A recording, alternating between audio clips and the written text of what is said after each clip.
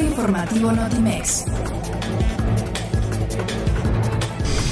El presidente Andrés Manuel López Obrador afirmó que México tendrá una política migratoria apegada a la defensa y protección de los derechos humanos, así como a garantizar el derecho al asilo y el trato justo a todos los migrantes.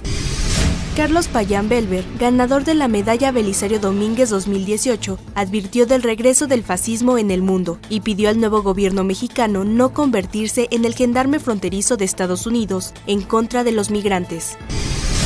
Estados Unidos inició el retiro de tropas de Siria como parte de lo que la Casa Blanca calificó como la transición hacia la nueva etapa en la campaña contra el grupo terrorista Estado Islámico, al cual declaró derrotado. El Comité del Mercado Abierto de la Reserva Federal de Estados Unidos decidió ignorar las presiones del presidente Donald Trump para dejar intacta la tasa de fondos federales y las aumentó en un cuarto de punto porcentual en su última reunión del 2018. El director general del Instituto Politécnico Nacional, Mario Alberto Rodríguez Casas, anunció que por iniciativa propia a partir de la primera quincena de enero, su sueldo mensual bajará de 106 mil pesos a 92 mil, lo que implica 14 mil pesos menos, un poco más de 12.5%.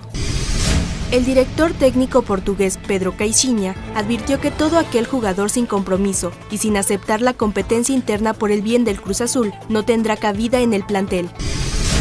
El cantante británico Paul McCartney y la ganadora al Oscar Emma Stone protagonizan el video Who Cares contra el acoso escolar. Notimex, Comunicación Global.